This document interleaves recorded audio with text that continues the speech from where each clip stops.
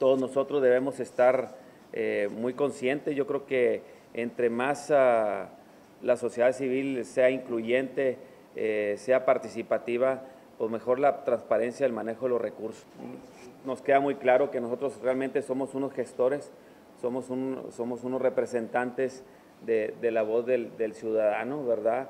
Eh, no, no, manejamos presupuesto realmente, eh, nos dedicamos a, legislar, a llevar este, iniciativas eh, de, de, lo que recolectamos de aquí en, en las calles con, con, los organismos.